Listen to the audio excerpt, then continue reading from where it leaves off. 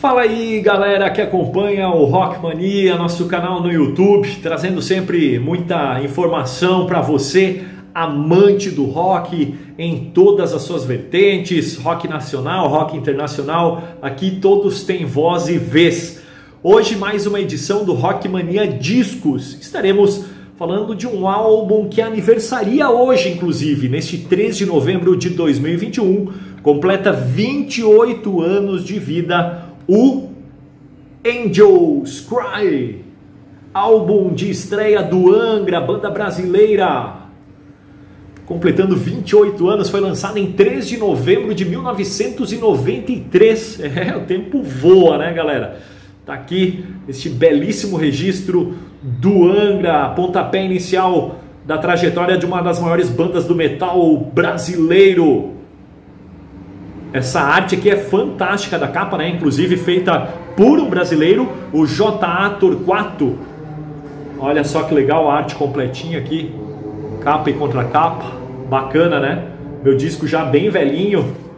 Uma das primeiras versões do CD. É legal, né? Ter a peça física assim. Tenho o maior orgulho de ter esse disco. É um dos meus favoritos. O Angels Cry do Angra. 28 anos neste 3 de novembro. A banda tinha na formação aí o saudoso André Matos, um dos maiores vocalistas de todos os tempos, nos deixou em 2019, né? O André Matos que cravou seu nome na história da música mundial, com Angra, com Viper, com sua carreira solo e com participações em diversos trabalhos com diversos artistas. Mas com certeza o Angels Cry jogou o nome do André Matos para o mundo, internacionalizou o garoto, né? Grande maestro André, André Matos. É, tinha na companhia dele então o Kiko Loureiro, hoje guitarrista do Megadeth, um dos maiores guitarristas do Brasil, né? Orgulho brasileiro ali no Megadeth. E o Rafael Bittencourt, que segue até hoje segurando a tocha do Angra, único membro original até hoje, é, levando adiante o Angra. Tinha o baixista também, o Luiz Mariucci. E o Batera. O Batera, eu vou contar a história para vocês. Aqui no encarte está ele, Ricardo Confessori, um grande batera. Sou fãzaço das baquetadas do Ricardo Confessori. E confesso, Confessori confesso, que faz pouco tempo, alguns anos atrás, que descobri que não foi ele que gravou o disco Angels Cry. Pois é, eu fiquei bem surpreso na época quando eu descobri que não foi ele. Eu vivia folheando o encarte, olhando as imagens, letras, e para mim era o Ricardo Confessori, o batera, né? e tá aqui então, já que eu estou mostrando o encarte, né? Ó, a parte de dentro, o nome das músicas, as letras das canções, tá papapá, e aqui as fotos das lendas. André Matos, pessoal bem novinho, né? Kiko Loureiro, estou enquadrando bem aí. Na outra página aqui, o Rafael Bittencourt, também o Luiz Mariucci. E o grande Ricardo Confessori está aqui, fazendo panca, bonitão, mas não gravou o disco não. Mais aqui da ficha técnica, contra capa, né? Já mostrei antes, forma arte inteirinha aqui. Esse trabalho é belíssimo, né? Para fazer um quadro, para usar de de capa no Facebook, para usar de capa de fundo no computador, né? Tela de fundo, baita capa aqui do JA Torquato. Pois então, na época, o batera do Angra, quando eles foram para a Alemanha gravar no estúdio do Kai Hansen, hoje guitarrista do Halloween e do Gamma Ray, na época ele estava apenas com o Gamma Ray, Kai Hansen, um dos grandes nomes do metal mundial, né, do power metal, do metal melódico. Ele tem um estúdio dele lá na Alemanha, o Kai Hansen Studios, em Hamburgo. E o pessoal do Angra estava por lá já para gravar o disco. E um dos produtores, o Charlie Bauerfeind, consagrado aí é, no meio do metal melódico, do heavy metal em geral, trabalhos com Gamma Ray, Halloween, Running Wild, por aí vai. Ele chegou para os caras do Angra e falou: ah, pessoal, esse batera de vocês, se ele tocar no disco, eu não vou produzir ele para vocês não. Foi isso mesmo, cara. Era o Marco Antunes. Você já ouviu falar no Marco Antunes? Pois é, ele era o baterista do Angra quando eles foram para a Alemanha gravar o Angels Cry. E o Charlie Bauernfeind deu essa enquadrada na galera.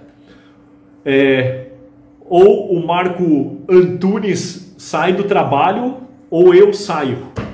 Acredita então que a galera do Angra escolheu seguir aí a indicação do, do Charlie Bauerfeind e pegaram como batera o Alex Howard. Alex Howard foi quem gravou as bateras do Angels Cry. Pois é, o alemão Alex Howard. Depois ele viria a, a gravar com o Avantasia, com Rhapsody e outros trabalhos mais, baita batera. E, mas a banda então resolveu dar um chega para lá, infelizmente, né? Ou felizmente, não sei, para os rumos de cada um nas suas vidas, para o Marco Antunes. Inclusive, o Charlie Bauerfeind chegou a sugerir para o Angra gravar o disco com bateria eletrônica, ver se pode. Mas no fim eles se é, entraram num consenso lá e resolveram então botar o Alex Howard para gravar a bateria do disco.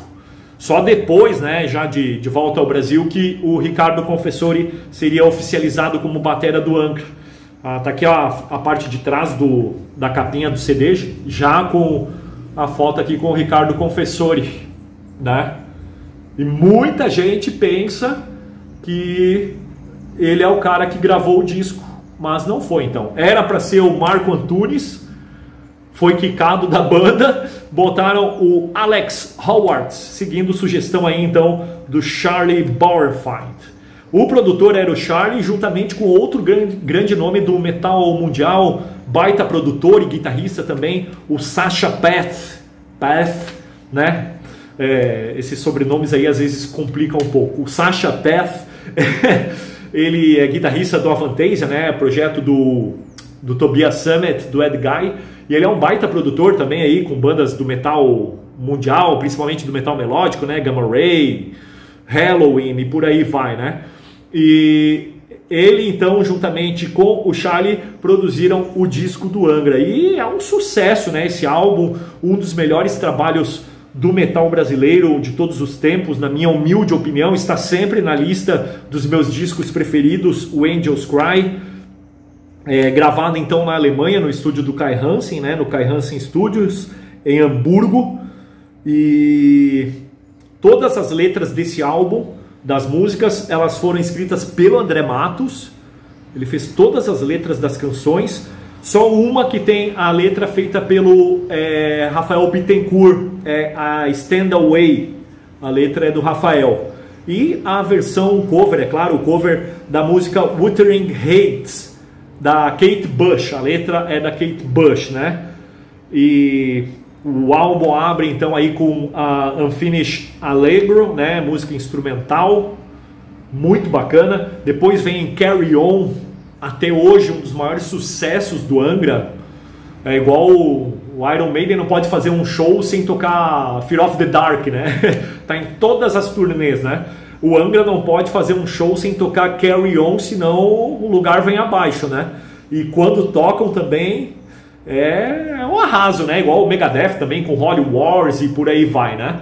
E vem então com a Carry On na sequência, depois a Time, Angels Cry, que dá o nome do disco, a Stand Away, é só sonzeira, né, cara? Stand Away vem na sequência, depois a Never Understand. Essa Never Understand tem participações nas guitarras tem é, solos adicionais do Sasha Path, que é o produtor né, e também guitarrista. O Kai Hansen, do Gamma Ray, participa nessa música. Também o Dirk Schlachter.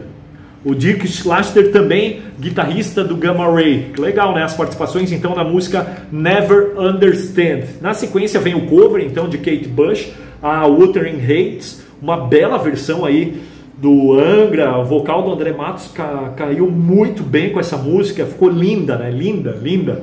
A Wuthering Heights. A batera quem gravou da Wuthering Heights não foi o Alex Howard. Quem gravou foi o então batera na época do Gamma Ray. Pois é, foi o, o Thomas Nack, O Thomas Knack, que era o baterista do Gamma Ray, foi quem gravou o cover de Kate Bush, a Wuthering Heights, no Angels Cry. Mais uma curiosidade baterística aqui do Angels Cry, né? Quantas novidades nas baquetas nesse disco. Depois vem a Streets of Tomorrow, para mim uma das melhores desse disco. Eu acho muito muito sensacional essa música, é um peso, é uma melodia, o refrão fica na cabeça, né? Eu acho linda Streets of Tomorrow, é uma das preferidas minhas desse álbum.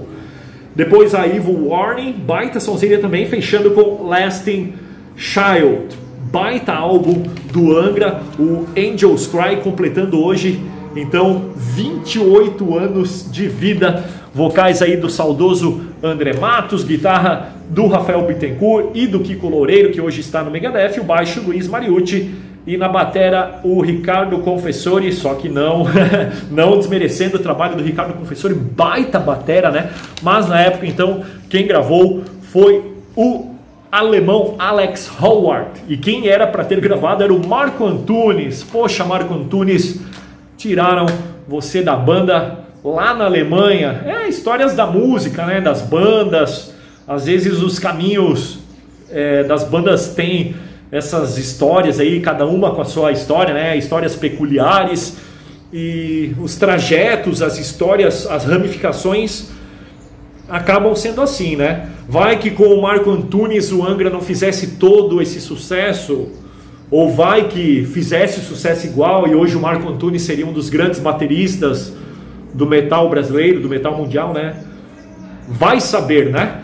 Pois é, mas não foi com ele então. Depois entrou o Ricardo Confessori na banda. E essa era a formação então do Angra ali nos seus anos pós-lançamento então do Angels Cry, que marcou muito, é, marcou uma boa época aí do metal nacional, época de MTV. É, poxa, ficou muito marcado para mim essa formação, né? Esse quinteto aí do Angra é, especial, assim, muito marcante na minha adolescência metálica. E é hoje, então, neste 3 de novembro de 2021, que eu compartilho com vocês algumas curiosidades, informações desse disco, né? O Angels Cry. Vale a pena ouvir em alto e bom som. Volta e meia está no meu CD player.